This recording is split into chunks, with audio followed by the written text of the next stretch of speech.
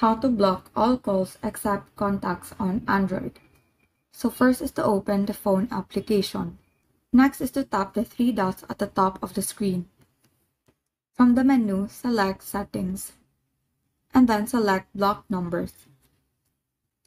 Turn on Block Unknown Numbers toggle switch. Or you can also open Settings, select Notifications, tap Do Not Disturb, and enable the Do Not Disturb toggle button.